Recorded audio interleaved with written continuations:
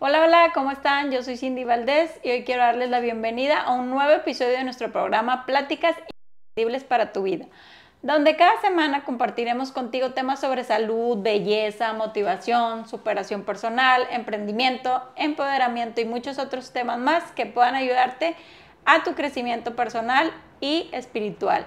El día de hoy tenemos un tema muy importante, el mes de marzo, en especial el 14 de marzo es el mes de la concientización sobre la endometriosis, que es un problema que afecta a millones de mujeres en el mundo, pero muchas ni siquiera saben que lo tienen.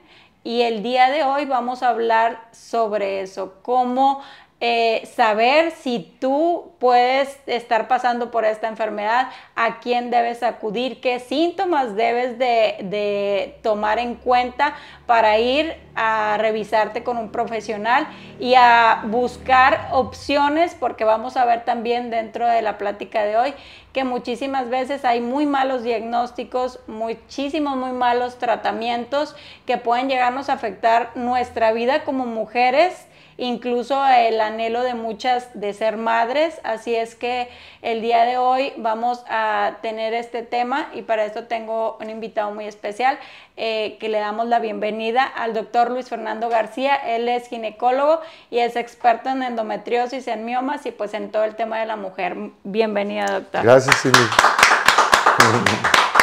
Gracias por la invitación, por el espacio y es una gran oportunidad de de permear en las mujeres y en la población en general, no solamente las mujeres, sino las familias enteras de cuál es esta problemática que vamos a profundizar pues en este momento. Así es, te agradezco mucho por la oportunidad que te das de estar aquí, también por todo el trabajo que haces de, de también de concientizar y de hacer llegar estos temas a más gente, porque por lo que estuve viendo y por lo que vi de algunos síntomas y de algunas cosas, pues yo creo que muchísima gente que conocí en mi vida tenía esto y no se daba cuenta, lo normalizaba, que ahorita vamos a ver qué es lo que pasa y por qué no lo debemos de normalizar.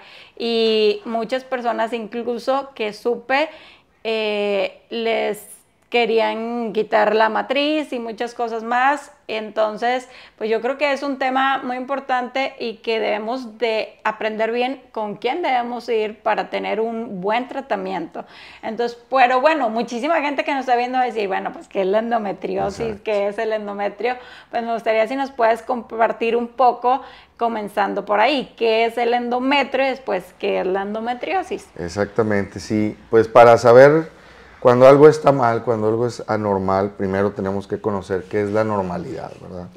Entonces, la, endometriosis, bueno, primero vamos a partir de que el endometrio es la capa interna del útero que cada mes eh, tiene unos cambios fisiológicos normales, crece y cuando no se logra un embarazo porque no se está buscando, no está en edad o lo que sea, al no recibir un embarazo, este endometrio, que es la capa dentro del útero, se desprende y viene el sangrado menstrual.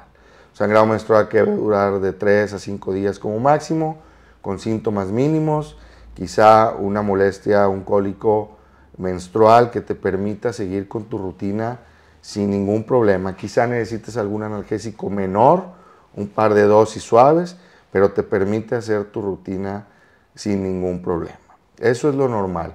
Y tú dijiste ahorita algo bien interesante, que hice memoria y me percaté que en tu círculo hay personas, y, yo siempre hago este ejercicio cuando, cuando damos alguna charla con pacientes eh, o con estudiantes de medicina o algo, que también estamos fortaleciendo mucho eso, que hagan memorias en su círculo cercano, de familia, de amigos, de amigas, había alguien en quien sus días de menstruación eran un tormento y se ausentaba de la fiesta, de la clase deportiva, de la escuela o ya más grandes del trabajo, porque siempre había mucha sintomatología muy severa que le hacía faltar. ¿Y qué pasaba? Pues la gente de alrededor a veces no le creía, le estigmatizaba, pensaban que estaba exagerando, que querían llamar la atención y empieza toda esta eh, eh, eh, señalamiento hacia estas pacientes que, que desafortunadamente no han sido diagnosticadas y que sufren de algo que realmente es un problema que afecta a 200 millones de mujeres por lo menos las que sabemos en el mundo. Como lo dijiste ahorita también, quizá hay más que ni siquiera lo saben. Entonces, cuando este periodo menstrual del que hablábamos se sale de esos síntomas tolerables, eh, es cuando deberíamos de empezar a buscar ayuda, ¿verdad? a buscar ayuda con especialistas y, que también a veces hay especialistas que no están muy bien empapados de, de, lo que es la enfermedad y ofrecen tratamientos o diagnósticos o normalizan, ¿verdad? ¿Cuántas veces no hemos escuchado que escuchar a las mamás, tías, hermanas, amigas, pues es normal, es un cólico menstrual normal, así va a ser. Cuando te cases se te va a quitar, cuando te embaraces se te va a quitar, cuando empieces vida sexual se te va a quitar. Y son puros mitos que hacen que solamente se pierda tiempo para llegar a un diagnóstico oportuno.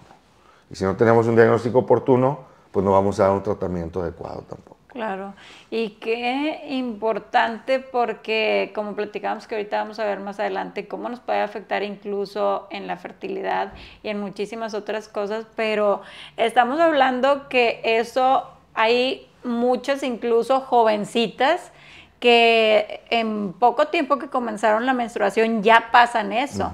O sea, no es que tiene que llegar como que, ah, bueno, ya después de que empezaste tu vida sexual, de que tienes una vida sexual activa, bueno, es cuando ahí te puede pasar. No, o sea, eso puede pasar en cualquier momento, ¿verdad? En cualquier momento a partir de la vida reproductiva, que es cuando empiezan las los primeras menstruaciones. Entonces, eh, eh, ya que vimos lo que es lo normal, bueno, ¿qué es lo normal? La endometriosis es, es una enfermedad inflamatoria eh, en la que este tejido endometrial que normalmente se desprende, eh, hay un tejido similar a este y se implanta fuera del útero, en los ovarios, en las trompas, en el intestino, en la vejiga o lugares más distantes, a veces intestino delgado, diafragma, pulmón incluso. Entonces eso genera mucha inflamación, mucho dolor, dolor incapacitante, dolor que realmente hace que, que estas pacientes, estas mujeres, pierdan oportunidades de muchas cosas académicas, laborales, eh, de pareja, eh, eventos sociales, se pierden de muchas cosas porque realmente están sufriendo de, mucho malestar, mucho dolor, mucha inflamación, distensión abdominal. Y luego vienen otros problemas asociados como la infertilidad, que es otro de los grandes eh, sistemas que afecta el sistema reproductivo y la fertilidad se ve muy comprometida en muchas de estas pacientes. Claro, a ver, entonces, a ver si entendí bien y para, para, las personas que nos estén viendo, o sea, el endometrio es, digamos, la capita que es, digamos, el endometrio se convierte en menstruación. Entonces, cuando hay endometriosis, en lugar, bueno, hay un bueno, ese tejido que comentas se va a otro lugar y se empieza como a encarnar, no sé, o sea, que se adhiere a, otras, a otros órganos y nos puede afectar.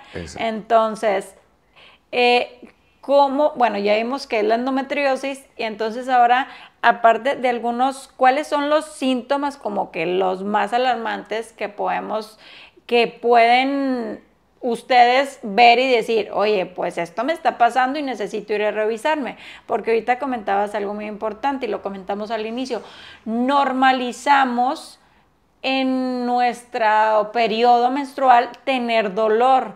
Y yo ya van varias veces que he escuchado con distintos expertos que no es normal tener dolor. O sea, es normal que a lo mejor sientas un poquito, pero ya incluso cuando tienes que tomar alguna pastilla o algo, pues eso no es normal porque también está el otro problema que es el síndrome de ovario poliquístico, que, que, también tiene mucho, o sea, que te genera muchos problemas.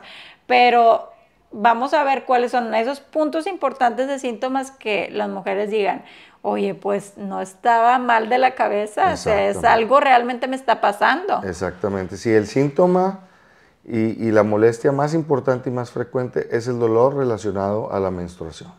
¿Sí? O sea, los días de tu menstruación, los días de la menstruación de, estas pacientes, de estas mujeres, son sumamente dolorosos, que requieren tratamientos médicos cada vez mayores, o sea, cada vez más analgésico, cada vez analgésicos más fuertes, más potentes. Incluso son pacientes que a veces tienen que ir a, departamentos de emergencias de los hospitales a que les pongan medicamentos intravenosos un poco más fuertes. Ese es el síntoma principal más frecuente. Y luego vienen otros asociados que es mucho distensión abdominal, mucha inflamación, o sea, de repente la ropa no les queda, la ropa les aprieta, se les marca la ropa con, que, normalmente les queda y, están muy incómodas con eso. Y algunos otros síntomas cuando ya afecta otros órganos, por ejemplo el intestino, que también eh, se afecta con mucha frecuencia, de repente diarrea, estreñimiento sin causa aparente, eh, a veces sangrado en las evacuaciones, sin alguna causa aparente, molestias para orinar. Y luego ya cuando empiezan a buscar un embarazo, pues se dan cuenta que, que, batallan y se asocia mucho a infertilidad. Desafortunadamente, bueno, eh, de forma natural, pues las mujeres eh, empiezan a menstruar alrededor de los 12 años, pero quizá buscan un embarazo 10 o 12 o 15 años después, y esos 15 años que no se dieron cuenta que eran infértiles, todos estos síntomas los normalizan, ¿verdad?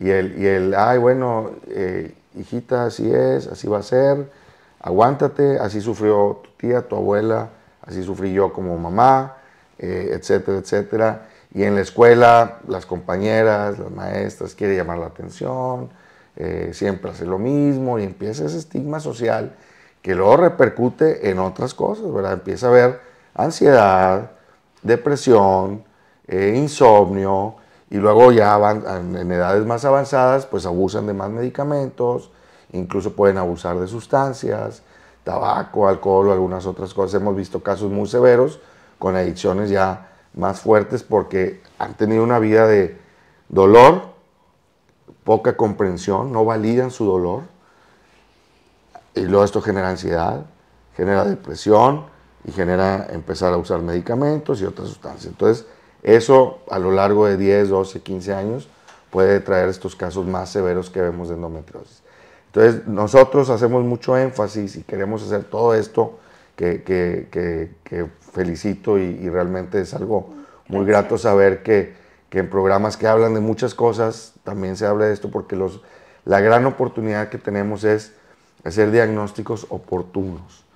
Cuando ya vemos un diagnóstico muy tardío, el margen de maniobra es poco y quizá con consecuencias no muy gratas porque hay que quitar un ovario o hay que hacer una cirugía muy radical.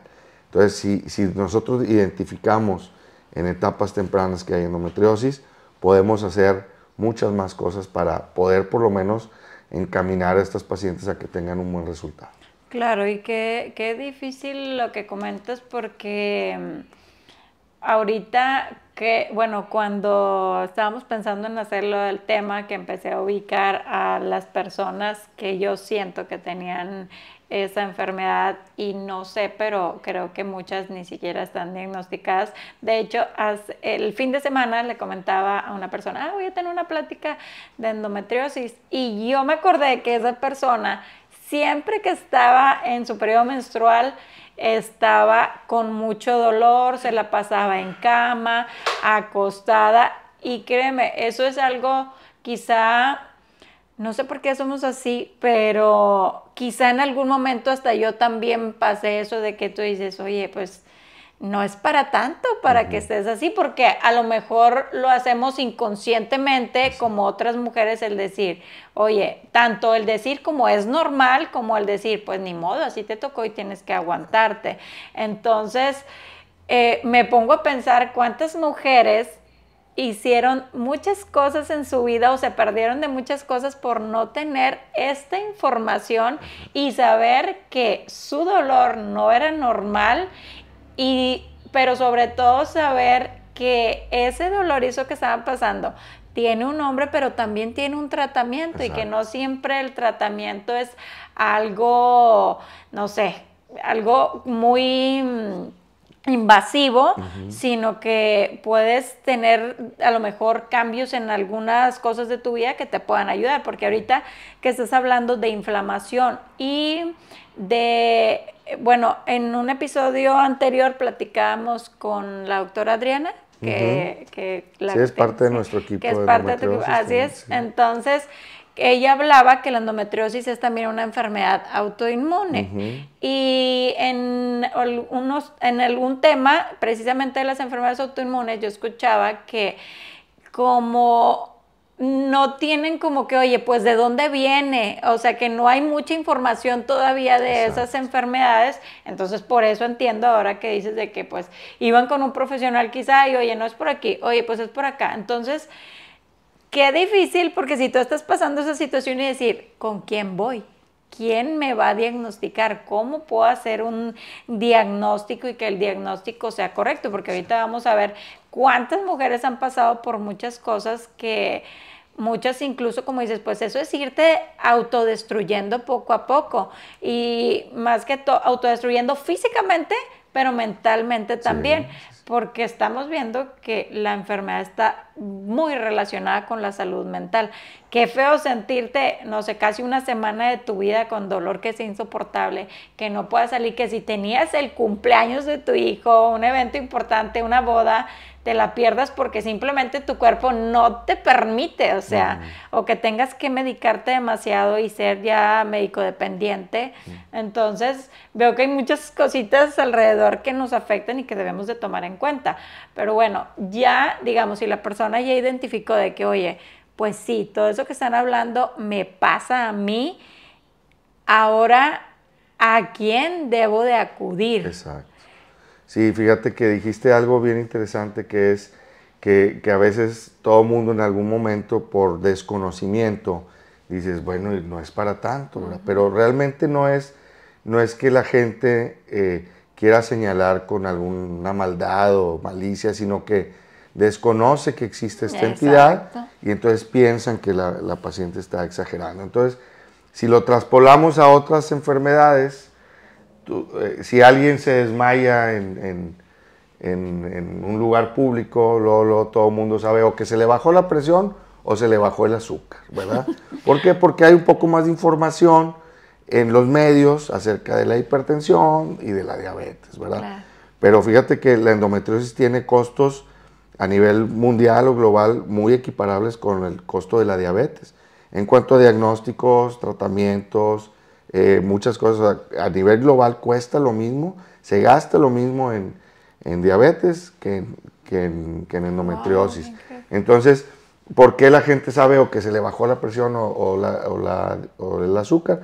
Porque escuchamos en muchos lados que existe la diabetes y que existe la hipertensión, ¿verdad? Entonces, ahí ante el desconocimiento de la endometriosis, pues uno se puede imaginar que, ah, bueno, a lo mejor está exagerando. Entonces, si alguien de las personas que, escuchan tu programa conoce en su círculo cercano a una persona que sufra de estas molestias severas eh, eh, cuando tiene sus periodos menstruales, o quizá no tan severas, pero que se las aguanta porque tiene que ir a trabajar sí o sí, o tiene que este, cumplir con sus labores de mamá sí o sí. o sea, hay muchas mamás que que pues no pueden desactivarse tres días porque el mundo no gira si se desactivan tres o cuatro días. Entonces, si alguien conoce a estas personas o, alguien que sufra te, esté escuchando esto, es un muy buen argumento, un muy buen punto para que busquen ayuda en, pues idealmente en centros ginecológicos especializados en endometriosis, porque también dentro del mundo médico, esa es otra cosa, o sea, la, la población está desinformada, pero también dentro del mundo médico de repente se normaliza. Vemos también de manera muy desafortunada que otros especialistas, incluso a veces ginecólogos, normalizan este dolor, ¿verdad? Entonces nosotros también estamos trabajando mucho con la población, pero también con médicos, médicos que se están formando desde la escuela de medicina, que sepan que existe esta entidad para que si se dedican a otra cosa, si son traumatólogos, si son eh, eh, gastroenterólogos, pero en una reunión les preguntan, sepan, no, pues hay que ir con un ginecólogo. Así como cualquier doctor sabe que si traes la glucosa en 200, tienes que ir a atenderte, pues que si alguien sabe que si hay dolor menstrual incapacitante, tienes que ir a atenderte a un centro especializado en diagnóstico y tratamiento de endometriosis, idealmente multidisciplinario, porque también el origen es multifactorial, no hay una causa específica reconocida y casi siempre a manera de broma decimos, bueno, cuando los doctores le dicen a una enfermedad que es multifactorial es que no sabemos nada, ah, pero no sabemos nada de dónde viene. Entonces es multifactorial porque hay muchos factores que impactan. Y el estilo de vida, por ejemplo, la nutrición, el manejo del estrés, que seguramente tocaste estos puntos con la doctora Adriana, son muy importantes acompañando al manejo médico y o quirúrgico, ¿verdad? Claro, y ahorita comentaste, bueno, ahorita te comento, quiero comentarles que estaba tomando el celular porque hice una encuesta, una pequeña encuesta ahí en, en mi red social y les pregunté precisamente que sí, que cuántas de las que estaban, de las que vi en la historia, estaban, pasaban por mucho dolor en la menstruación y ahorita tengo, o sea, gran parte, el 27% puso que era insoportable el dolor y el, bueno, 14 pusieron, eh, más bien, 42% eh, pusieron eh, que muy poco pero el 30% también puso tomo pastillas y lo soporto. O sea que la mayoría de las personas que contestaron la encuesta tienen, mucho problema, exacto, tienen y, y las que contestaron insoportable, realmente se habla que de una a dos mujeres de cada diez, o sea, hasta un 20% pueden tener endometriosis, ¿sí?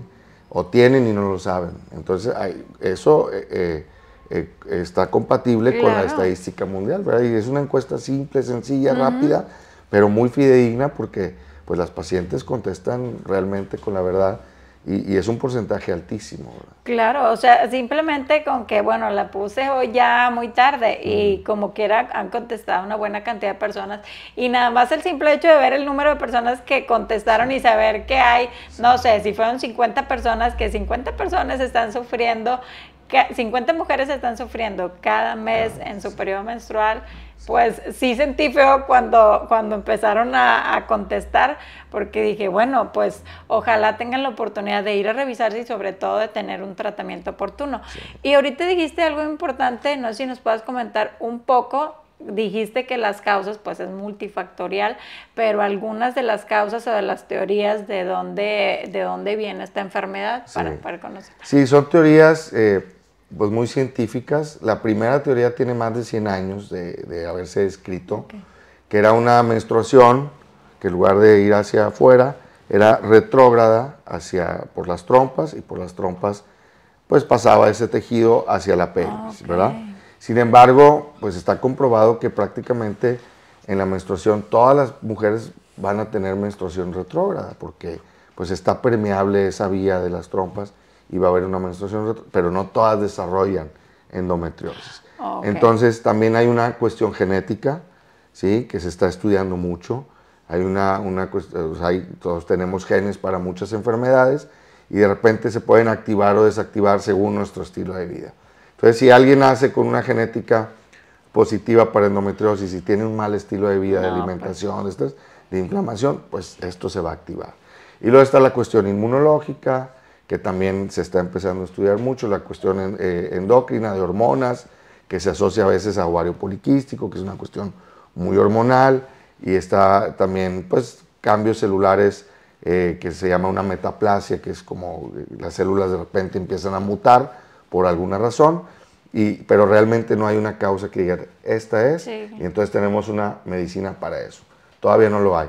Entonces tenemos que hacer muchas cosas, por eso tenemos equipos multidisciplinarios, porque en el equipo multidisciplinario está el ginecólogo con la paciente, digamos que la paciente es el centro, y alrededor está el ginecólogo que la, va a guiar, pero si de repente tienen problemas de ansiedad y depresión, tenemos un equipo de salud mental, tenemos un equipo de nutrición, estilo de vida, manejo del estrés, tenemos equipo de, de cirujanos de todas las especialidades, de cirugía de urología, de intestinal, etc.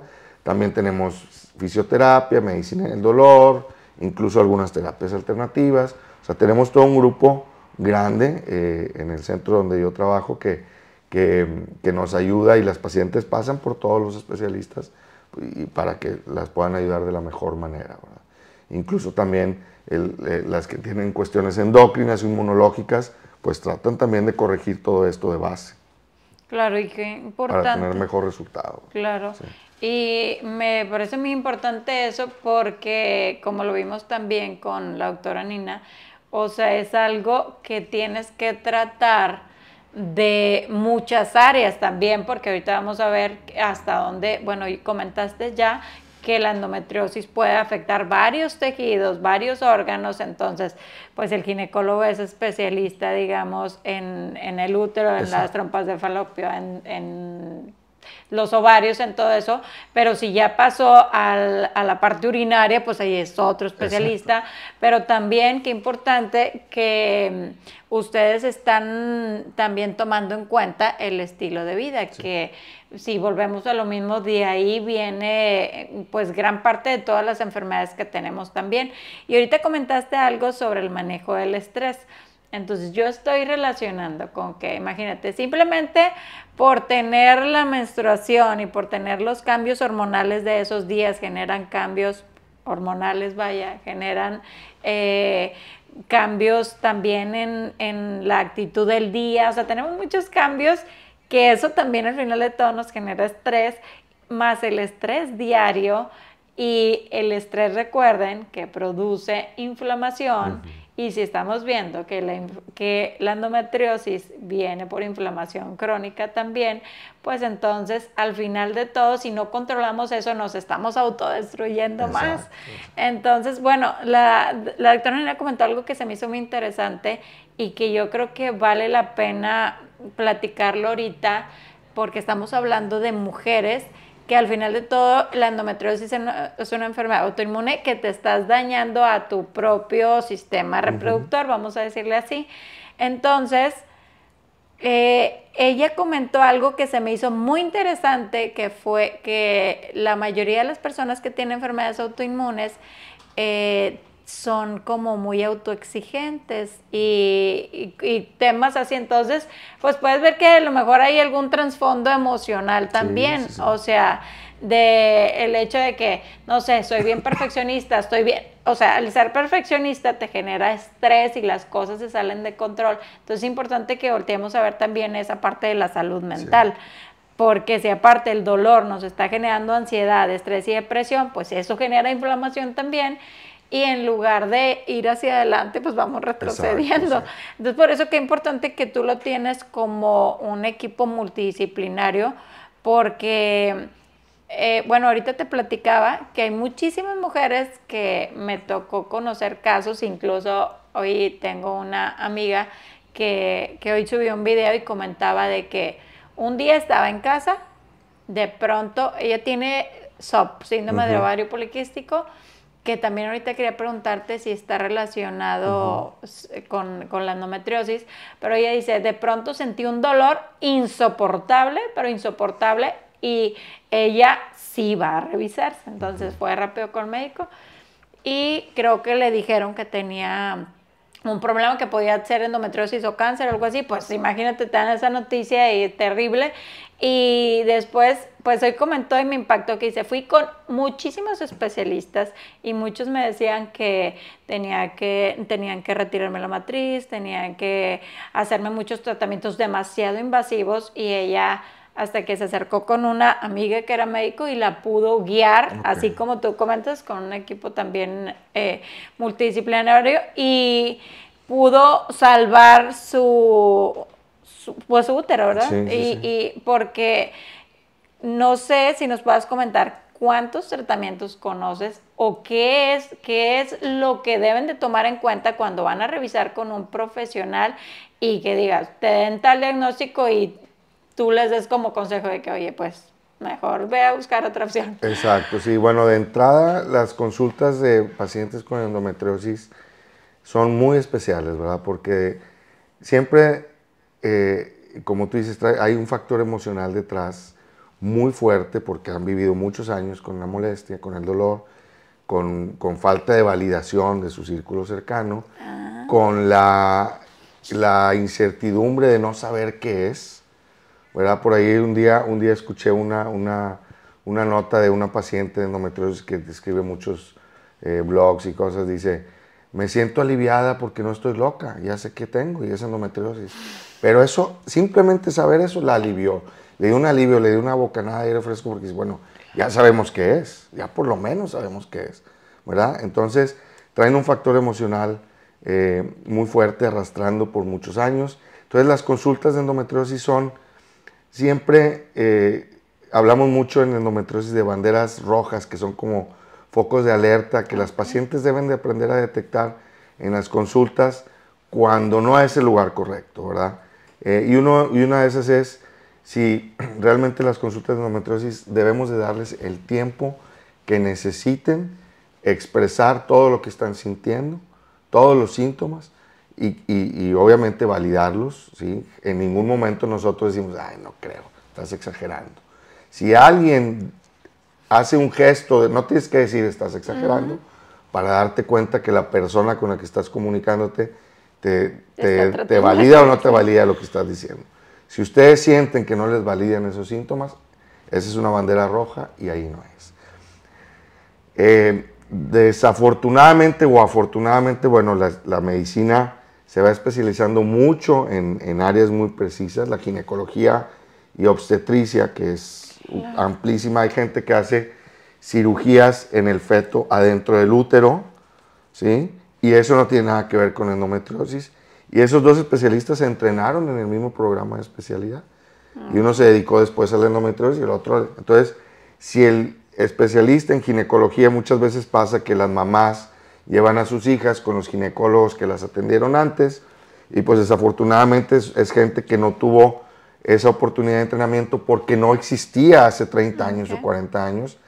Entonces dicen, bueno, es normal y así va a ser y ahí pierden mucho tiempo. Entonces, que busquen en redes sociales, hay mucha información de quiénes son médicos especialistas en endometriosis. Los que vemos pacientes de endometriosis eh, o, cirugía ginecológica en general, prácticamente nos dedicamos exclusivamente a eso, ¿sí? O sea, el, tema de embarazos, eh, de embarazos de alto riesgo, de, de, incluso de enfermedades malignas, enfermedades de la mama, las ven otros especialistas. Entonces, que sepan que se les va a dar ahí la atención y que el médico valide esos síntomas. A veces nos tardamos horas en consultar y siempre otorgamos todo, eh, de repente a las pacientes se les puede hacer pesado porque les decimos tienes que ir con este especialista, este otro, este otro y este otro. Desafortunadamente eso implica pues gasto, implica tiempo, implica fastidio, puede ser, ahora voy a ver a otro doctor y luego otro y luego otro, pero realmente que sepan que su doctor les está ofreciendo o les ofrece un equipo multidisciplinario, porque de nada sirve que, un doctor les quite el útero y los ovarios si no arregló el factor emocional, si no arregló el tema intestinal, si no arregló el tema urinario o algunas otras cosas que también estaban afectadas, ¿verdad? Entonces, tiene que haber un equipo multidisciplinario, la paciente tiene que conocer a todos estos especialistas. Entonces, otra bandera roja es estos médicos que desafortunadamente la todología en la medicina ya no cabe ahora en el 2024, ¿verdad? Entonces, cuando sientan esa, esa incertidumbre, la segunda opinión es un derecho del paciente.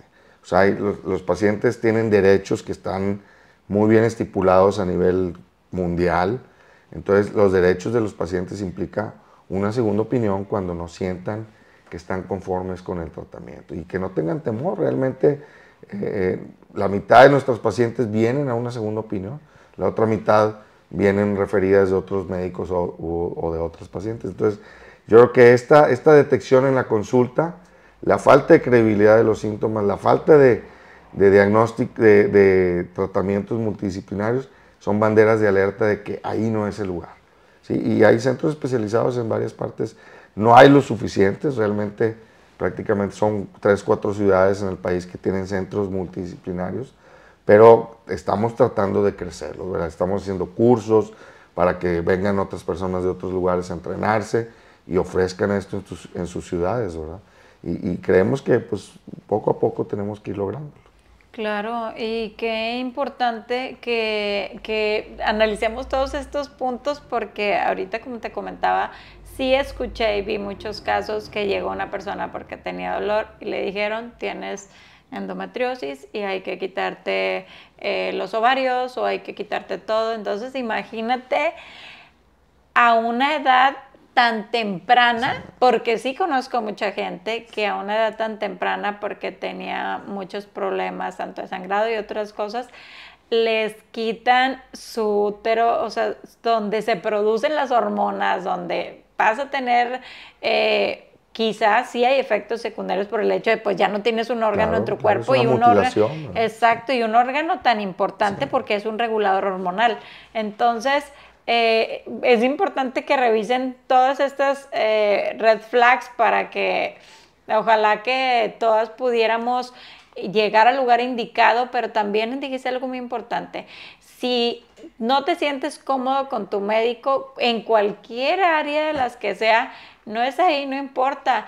Eh, bueno, yo trato de concientizar ahora en eso y lo hago hacia mí misma también porque muchas veces me aguanté y sé que muchas personas que nos están viendo también de muchas cosas por decir, ay no, porque luego una persona me dice, una, o sea, porque a veces las experiencias con los médicos son como las que acabas de comentar, de que, oye, no, pues ya me dan un tratamiento así de que, bueno, esto y ya, como muy cerrado. Y, yo me quedé muchas veces como que, oye, siento que puede haber otra opción, no la hay, pero también, pues, como lo podemos ver, hay muchas personas que no tienen la capacidad económica para ir a atenderse también una enfermedad de este tipo, que por lo que veo, pues tiene un costo relativamente alto, pero también quisiera concientizar, que, que tú también lo comentaste, en que yo creo que por tu calidad de vida vale la pena invertir en un tratamiento multidisciplinario, porque al final de todo es algo, no es un problema que tú dices, oye, pues a lo mejor no me afecta mucho, aunque todas las enfermedades afectan, pero si cada mes vas a estar viviendo una semana, una vida insoportable, pues creo que vale la pena eh, esforzarte y llevar un tratamiento adecuado. Que ahorita vamos a ver también el, tema del tratamiento. O sea, ¿cuál es el, el tratamiento que ahora están, que se está manejando con estas pacientes? Sí, además de lo que ya tocamos, que es el, acompañamiento multidisciplinario, el apoyo emocional, alimentación, ejercicio, pues, existe bueno, el tratamiento médico, farmacológico, a base de hormonales, que son, pueden ser anticonceptivos o puede ser algo parecido a los anticonceptivos, pero algo que se usó por mucho tiempo y que también es otra bandera roja, si, si a alguna paciente se lo indican, es algunas implantes o inyecciones que ponían en menopausia o ponen en menopausia bioquímica a las pacientes. Es un, bloqueador de las hormonas femeninas, ¿sí? que al momento de inyectarlo, hace cuenta que están como si no tuvieran sus ovarios. Las ponen en menopausia y tiene muchos efectos colaterales que aunque es temporal, ¿sí? son muchos los efectos colaterales que este, esto ya no está indicado en la actualidad. ¿Sí? Eh, son muchos los efectos colaterales y el resultado no es bueno. Entonces, no hay una mejoría, no desaparece la endometriosis. Entonces, es una, otro foco de alerta. Si te ponen, si te indican un medicamento que dicen, bueno, esto te va a suprimir tus hormonas, eh, eso eh, hay que buscar otra, otra opinión. Sí hay tratamientos hormonales, pero no suprimen las hormonas a tal nivel de ponerlas en menopausia. Y luego un porcentaje eh, pues no menor, quizá un 20% de las pacientes con endometriosis van a requerir un tratamiento quirúrgico. ¿sí? Y aquí el tratamiento quirúrgico también es otro punto de mucha alerta que tenemos porque hemos visto pacientes de cirugías mal realizadas o incompletas en las que nada más ah, quitan algunos implantes o toman biopsias o los fulguran, los coagulan y son cirugías incompletas que no quitan el problema.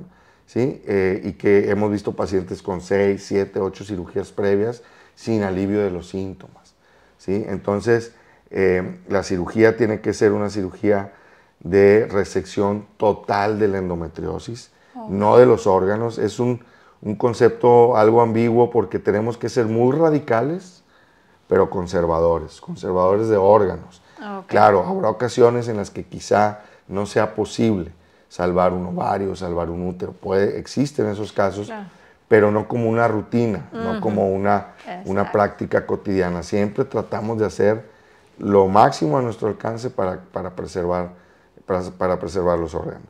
Y en ocasiones es necesario hacer una cirugía que reseque o quite un, un segmento de intestino, un segmento de vejiga, con un equipo multidisciplinario. Y estas cirugías idealmente, que también es otra otro punto de alerta, idealmente tienen que hacerse por mini, mini invasión, o sea, la paroscopía punciones de 5 milímetros, a veces con robot en centros más avanzados, ah, pero no por una cuestión cosmética o de cicatrización, sino que realmente hay mejores resultados porque hay una mejor visualización de los tejidos, de los órganos, de muchas estructuras que tenemos que cuidar con la laparoscopía que a visión directa. Entonces, si en algún centro les ofrecen medicamentos que te van a poner en menopausia, o te dicen que es normal tu dolor, o te dicen que tu cirugía tienen que abrirte y quitarte el útero y los ovarios, ahí son puntos, ¿sí? son focos de mucha alerta donde hay que buscar una segunda opinión en un centro especializado. ¿sí? Realmente la cirugía eh, abierta, pues no, claro, depende mucho de tecnología, hay costos de por medio, no todos los centros hospitalarios la tienen al alcance, pero, pero si la tienen es, es lo que se debe hacer. Claro, ¿no? Y como les digo, sé que puede ser complicado porque no todos tenemos las mismas posibilidades, pero pues vale la pena llevar ese tratamiento y hacer lo que es correcto, porque si estamos hablando de, ahorita que platicamos, de que cómo la endometriosis puede afectar la fertilidad, pues esta es una de las cosas. Pero no sé si nos puedes explicar un poquito en qué relación afecta a la fertilidad. A la fertilidad, sí. Sí, la afecta de varias maneras, ¿verdad? Uno, eh, a veces se forman quistes en los ovarios que son quistes de endometriosis. Son unos quistes que tienen un contenido eh, líquido espeso de color chocolate, de hecho se les conoce comúnmente como quistes de chocolate y estos quistes afectan mucho la calidad de la ovulación, de los óvulos, que son los que van a ser fecundados para lograr un embarazo. Entonces, esa es una de las formas. La otra forma es que a veces las adherencias o los implantes de endometriosis afectan a las trompas y las obstruyen e impiden que haya un encuentro del espermatozoide con el óvulo y no hay la fecundación. Esa es otra causa. Y la otra es el proceso inflamatorio crónico, impide que haya una adecuada implantación. Puede ser que haya ovulado la paciente, que haya fecundado, ¿sí? pero hay tanta inflamación y hay tantos, tantas eh, sustancias inflamatorias que son muy tóxicas para el óvulo recién fecundado y no logra implantarse, ¿sí? O se implanta y luego, luego se pierde. Entonces son los tres mecanismos más conocidos por los cuales afecta la fertilidad, ¿verdad? Entonces por eso también cuando la mujer está buscando fertilidad, primero hay que hacer una cirugía, comúnmente muchas veces lo, conocen como de limpieza de endometriosis, pero es una escisión o resección completa de endometriosis y luego ya someterse a tratamientos de reproducción o buscar un embarazo espontáneo incluso. Y sí, sí, fíjate que sí lo había escuchado eso porque, bueno, yo hasta el momento, fíjate, de la información que yo tengo, que me gusta mucho investigar y me gusta mucho aprender todas las cosas, especialmente pues soy mujer y de las mujeres también que me rodean, lo que yo recuerdo de la endometriosis para mí era igual a infertilidad.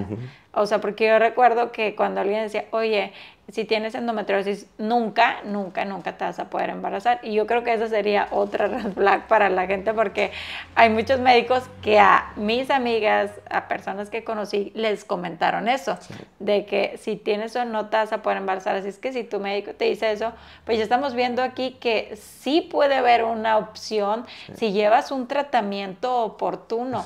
Entonces, yo creo que vale la pena, de verdad, yo los invito de que hagan un esfuerzo por ir a hacerse una revisión y sobre todo por llevar este tratamiento que no solamente estamos analizando que afecta los días del periodo menstrual, sino también en la vida como mujer, porque La, infertilidad, la, infertilidad, cada vez va más a la alza y lo veo muy relacionado con eso que comentas. Hay más endometriosis, hay más síndrome de ovario poliquístico, hay más infertilidad por lo tanto. Entonces, pues vale la pena que la mujer tome en cuenta esto y puedan cuidar su salud. Pero no solo eso, sino también bueno, yo he escuchado, pero tú nos aclaras, eh, que puede estar relacionado también con cáncer en la mujer.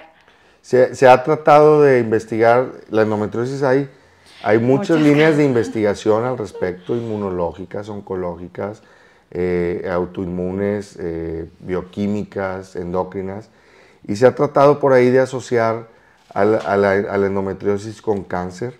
La endometriosis no es una enfermedad eh, de este tipo. Ah, Sin embargo, bueno, se ha tratado de buscar una relación, no está completamente comprobado. No, no es válido decir que vamos a operar a una paciente y quitarle todo porque tiene endometriosis y se puede convertir en cáncer. Eso sí es una información que, que al, menos hasta el momento no es correcta. Y, y, por ahí realmente es algo que todavía está en proceso de, de desarrollo y de investigación. Realmente la afectación principal de la endometriosis no es, no es, no es porque vaya a, después desencadenarse en un cáncer de ovario de otras partes, sino que realmente la, afectación es dolor, eh, infertilidad y, y, disminución o un deterioro severo en la calidad de vida de los pacientes. Es como realmente afecta más, más frecuentemente. Y se asocia un 50% a, a infertilidad. O sea, en medicina 50% es un porcentaje muy alto. ¿sí? Entonces, sí hay un 50%, pero este 50% puede tener un tratamiento. O sea, no es, la infertilidad puede ser un, un, proceso transitorio, ¿sí? O sea, lo cual quiere decir, ok, hoy, hoy una pareja es infértil, pero después de tratamientos médicos o quirúrgicos, eh, eh, juntos incluso muchas veces, logran un embarazo, ¿verdad? Entonces, la infertilidad también tiene un tratamiento. Entonces, de este 50% no quiere decir que no lo van a lograr nunca, sino que bien direccionadas y también nuestro grupo multidisciplinario, se me hace que no lo mencionamos, tienen eh, especialistas en medicina reproductiva, ¿sí? porque ellos también dan sus recomendaciones de cuándo es el momento óptimo para hacer la cirugía. Se habla mucho de congelar óvulos y luego hacer la cirugía y después de la cirugía hacer los tratamientos. Eh, entonces, los, especialistas de medicina reproductiva dan sus recomendaciones sobre todo en pacientes que están en búsqueda de un embarazo, porque eh, no vamos a ofrecerle a una paciente que tiene infertilidad, no le vamos a ofrecer una histerectomía, que es quitar el útero, no le vamos a, quitar los ovarios, eso no debe ser. Entonces tenemos que buscar la forma, con el apoyo de ellos y la, la consulta de ellos, para poder resolver este tema también. Claro. Entonces, bueno, si pudiéramos resumir, la endometriosis, si hablábamos así, ¿tiene cura? Pues no tiene una cura definitiva, sí, es una enfermedad crónica y después del tratamiento son pacientes que deben tener un seguimiento.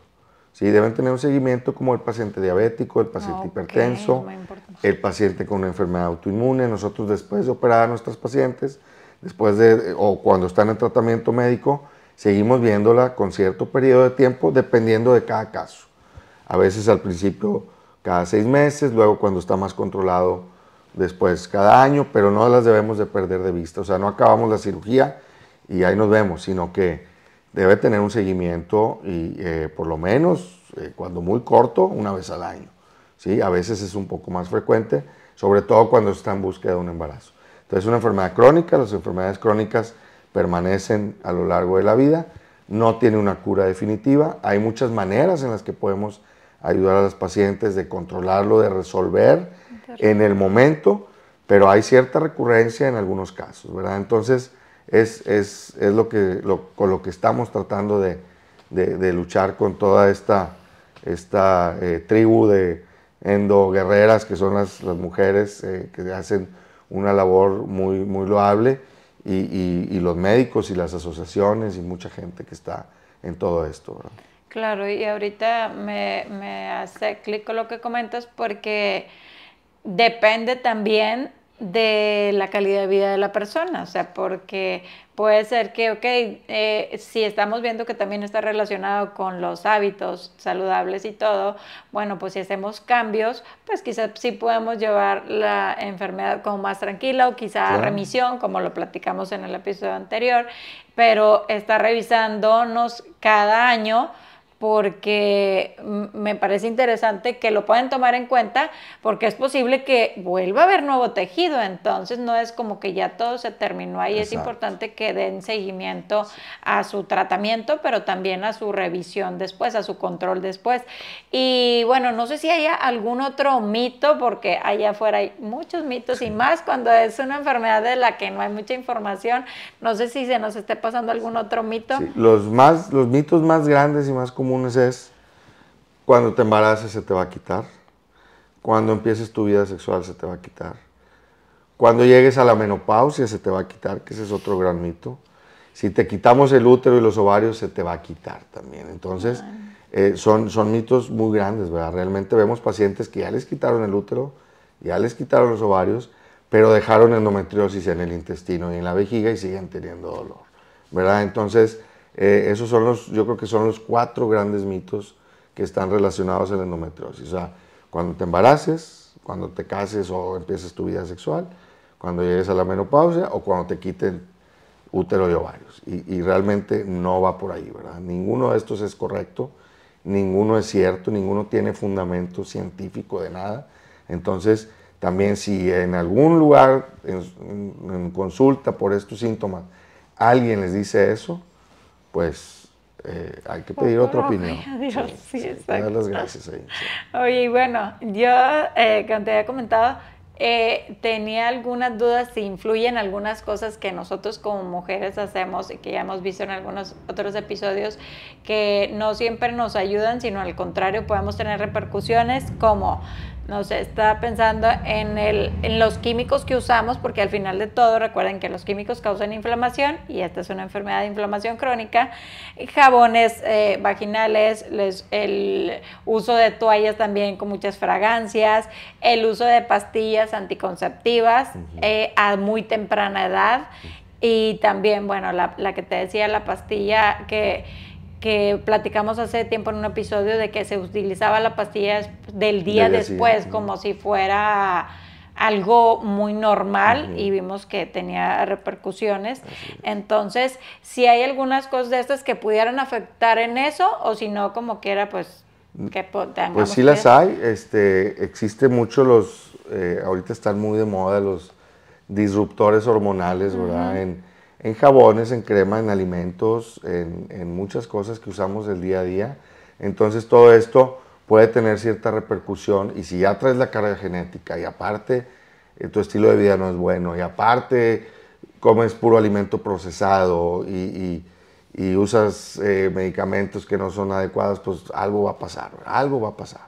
¿sí? El uso de anticonceptivos eh, a muy temprana edad, pues hay que seleccionar muy bien a quién se lo vamos a dar. Realmente los anticonceptivos son medicamentos seguros, pero tampoco se pueden dar como si fueran dulces, ¿verdad? O sea, realmente debemos de seleccionar muy bien y por qué los vamos a dar. Usar la pastilla el día siguiente cada vez que hay relaciones eh, eh, y usarlo cada fin de semana o dos veces por semana no es nada adecuado.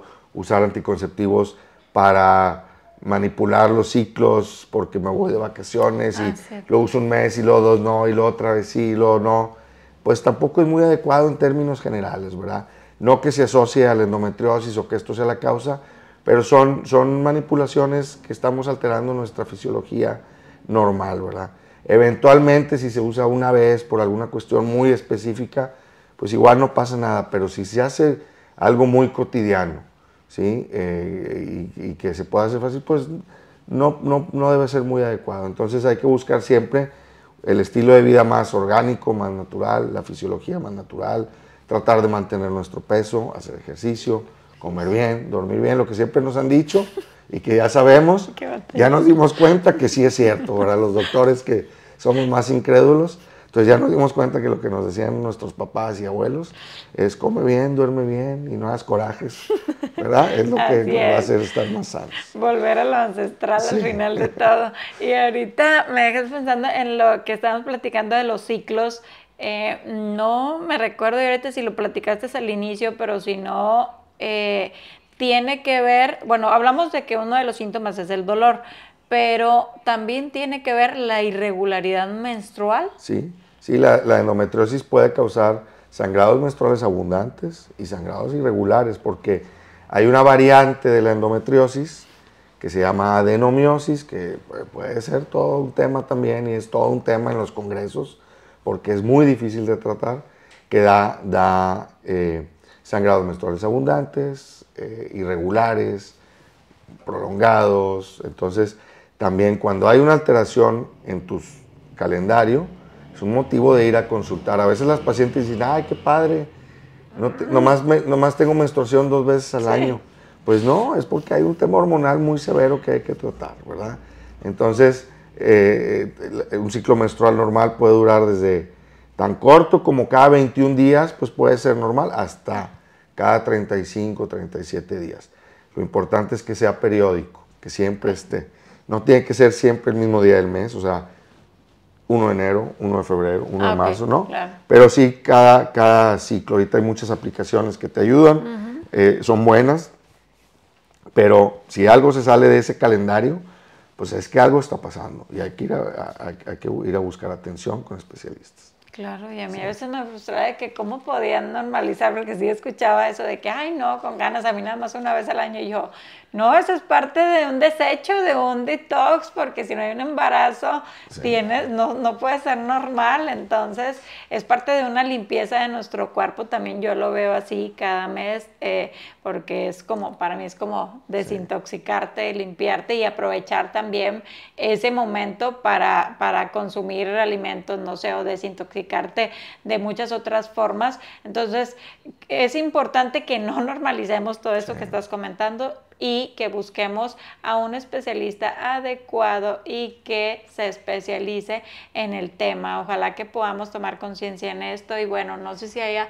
algo más, doctor, que pues, me falte comentar. Bueno, yo creo que eh, la verdad es que, te, repito, aplaudo esto, esto que haces porque eh, la difusión con la gente que, sigue tus, tus, eh, tus entrevistas, pues es, son, es para puras cosas buenas, ¿verdad? O sea, todo lo que haces es para fomentar cosas buenas en la vida de las personas, salud, al principio te escuché que está emprendimiento, bienestar, muchas cosas, ¿verdad? Entonces, eh, la salud es una parte importante. Sin salud, si una mujer emprendedora con una enfermedad no diagnosticada como la endometriosis va a fracasar en sus proyectos o, va a rendir menos en sus proyectos.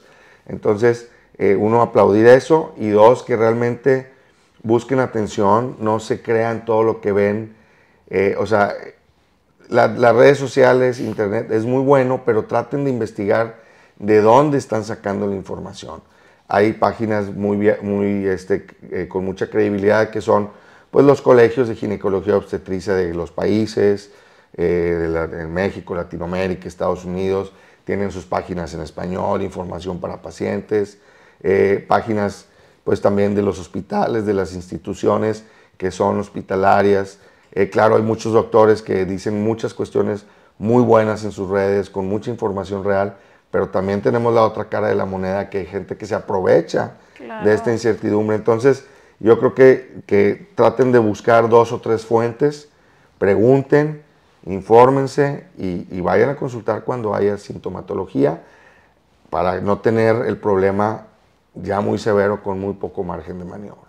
Entonces yo creo que ese sería el mensaje, realmente buscar ayuda especializada. Hay formas muy buenas de poder resolver este, este tipo de problemas, de poder, poder, ayudar, poder acompañar en todo este proceso y, pues la verdad es que eso, eso es lo que queremos hacer día a día. Marzo es un mes que es para, para fomentar y poder hacer más visible esta enfermedad, así como lo son otras. Entonces, eh, aprovechamos eh, estos espacios para eso.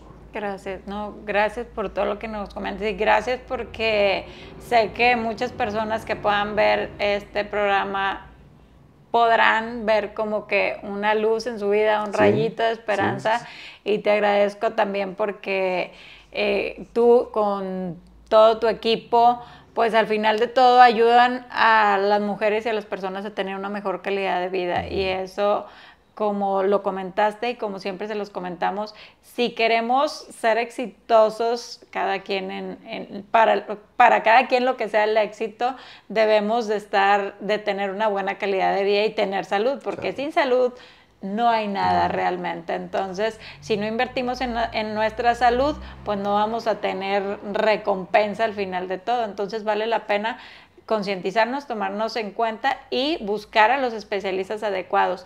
Compártenos tus redes sociales para todas las personas que tengan duda y dónde estás ubicado. Sí, bueno, en Instagram, Luis F. García R, doctor Luis Fernando García Rodríguez. Eh, estoy en el Tech Salud, aquí en, en la ciudad de Monterrey.